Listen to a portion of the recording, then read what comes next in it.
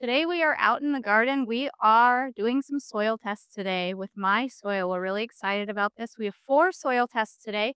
We're going to be testing this garden space, which is our house garden or main garden. We're going to be testing our greenhouse space. We're going to be testing our cornfield from last year, and we're going to be testing a new growing space for the coming year that used to have sheep and goats and horses and dogs in it. So we'll see what that soil is like. When our package arrived from My Soil with our test kits, this is what it looked like. It was nicely packaged in here, and there are four test kits in here, which is kind of a nice option when you have a bunch of different spaces that you want to test. This kit runs $112.99 currently on their website, so that's about $28.25 per test per garden area. But if you don't need to test multiple growing spaces, a single test kit runs $31.99 I will include a link to the MySoil website in the description, and we do have a 10% discount code if you're interested in using that. Once we get into the test kit, there is an instruction page with everything you need to know, a return envelope with the postage already paid for, and then this is where you're going to end up putting your soil as well as a little scooper to get your soil sample collected. We're going to scoop up some soil today. We're going to get it packaged up in here for you. We want to show you this process, and we're going to get it mailed off today. So let's get our different soil samples going. Pretty frozen. Yeah. Here we go inside some mulch stuff. Yeah, there we go. So they say we go six inches down with your samples. In the directions? Yeah, in the directions. And try to not get any debris. So try to keep all the leaves and stuff out. Just get a nice sample of soil. This is pretty, this space grew well for us. And so this is kind of a benchmark what we're shooting to try to amend the rest of our our plates for.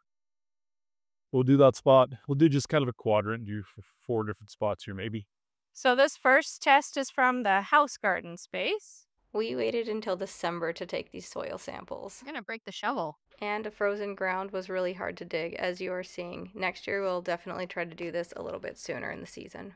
We got leaves this year from our local college landscaping department. They uh, let us come raid all the the uh, leaves they gathered up. Kind of nice. There's not many trees around here, around on our property. Next, we're going to do the greenhouse. And then we're going to do where we had sweet corn planted last year. And then following that, we're going to do that new space that is probably pretty high in nitrogen and maybe messed up from having too much manure on it for too many years. While we are on the topic of collecting your soil sample, I should talk about soil probes. This is a good option if you want a nice consistent depth and to get the best soil sample possible.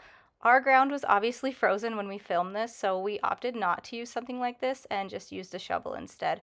So if you've been following our channel, you know that we have really high pH at this house.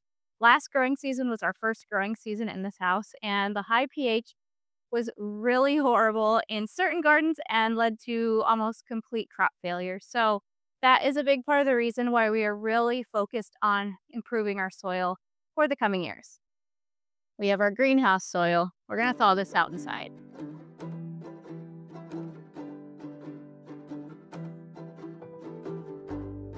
Now we are out in the cornfield, last year's cornfield.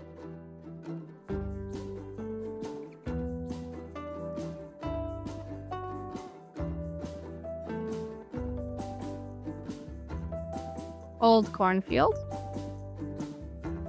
And here we go into the new growing space. The new growing space. It obviously needs some cleaning. When we got inside, this is what three of our four buckets look like. I already did the first bucket, but we did label everything.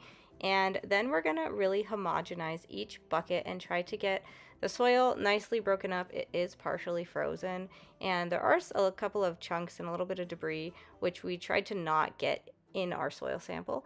But you can see that each one of these buckets looks a lot different and they weren't pulled from that far away from each other, but I think we're going to get some really different results with these different batches of soil. On another note, it was also really interesting that this last bucket of soil was really wet and the soil was sticking to my hand And this was from the old cornfield, which I don't know if that has to do with it, but they weren't pulled from that far apart from each other, which I don't know, it was just a little bit interesting, so I wanted to tell you about it. So here we go, we have them all pretty much broken up. Let's finally get this soil into these test kits. Since this was my first time completing a My Soil test, I opted to use this paper right here that has the test kit registration number on it and write down where the soil was from as well as on the back I'm going to write down the tracking number from the postage. I just wanted to really make sure that I wasn't going to get anything mixed up and that I would know which soil samples were from which growing space. This part right here was not necessary to write the tracking number, but it helped me stay organized. When you go to register your test kit online, there will be a very clear place where you put your registration test kit number and then you get to name the soil as far as which growing space it is for you so that you can easily identify it later. Next, it's finally time to scoop our soil samples. So we're gonna get our little scoop and we're gonna get some soil and try not to get any debris in it. Here we go, that looks pretty good. It needs to be a nice level scoop. So that's what we went with for this soil sample. This one is our old cornfield that I'm showing you right here. And we're gonna open this little container. It had a little seal on the end so that it wouldn't spill in transport, I'm guessing, and we would know it's a fresh kit. And dump it right in there. Easy as can be. Put the lid back on, give it a nice squeeze, and this is what it looked like. Now we're just gonna package it up inside of that envelope that already has the postage paid for. There is a nice little seal on it so that we can seal this envelope and that is it. I'm going to do that for the rest of our soil samples and here is everything and what it looks like at the end and we will be getting these in the mail first thing tomorrow morning. We registered our test kits online with My Soil right away and it was really nice that we were able to track our test kits very easily from our phones just using the internet. So we saw on December 13th, they were in transit. On December 16th, they were received. And by December 17th, we were able to view our results. It is finally result viewing time. We are so excited to finally see our results, although it really was a pretty quick turnaround time. Anyways, this is how you find my soil on the internet and just log in with your information. Once you see the main page here, you can see all of your various growing spaces, which I really like that they're just there really easily to view.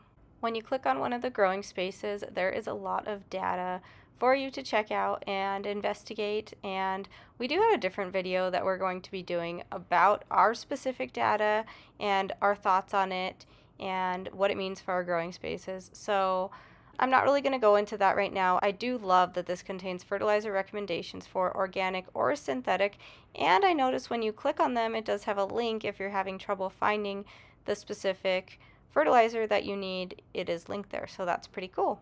Here's the other one. I decided to click on both of them real quick. But yeah, really user friendly. There is another option, which I'm going to show you, to look at the tests compared to one another from your various growing spaces, which I do think that's kind of interesting too to see how things line up. Here's that comparison I just mentioned, and when we look at it, this is very interesting for us as far as our growing space. You will obviously have your own interests in your own growing spaces, but I thought this was a handy tool, so I wanted to show it to you real quick. Well, that's it for this video. If you want to hear our thoughts on this soil test and what we think of the findings, please check out our future video that I will link at the end of this video and it will also be in the description as well. Thanks so much for checking out this video and we hope you found it useful regarding the My Soil test process.